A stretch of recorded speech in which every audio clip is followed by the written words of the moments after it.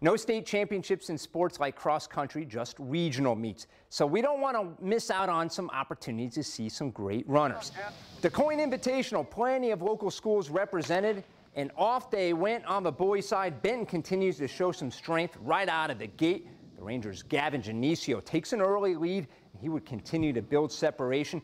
DuQuoin's Landon Swiney and Benton's Reese Johnson keeping it close for second and third. Genesio is your winner with a time of 16 minutes flat. Here comes Johnson sprinting to the end to give Benton a 1-2 finish and a team victory. DuQuoin's Landon Swiney comes in third. Indians finish second. Carterville third. Now runners had no idea of times throughout the race, so we asked Genesio how he'd run his race and keep a good pace.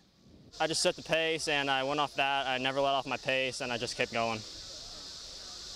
You know, teammates are having a lot of fun for you too. So what's it like having them having a, some fun with, with you behind you? You had no idea what they just did behind you. It's great. I mean, I love my team. I love my coach. Uh, we have very good strategy as a team.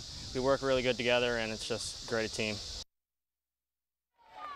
Love their sense of humor. On the girls' side, DuQuoin's Olivia Phillips is your winner at 1959. Lauren Heap gives the Indians a 1-2 finish and a team win. Benton finishes second and Nashville comes in third.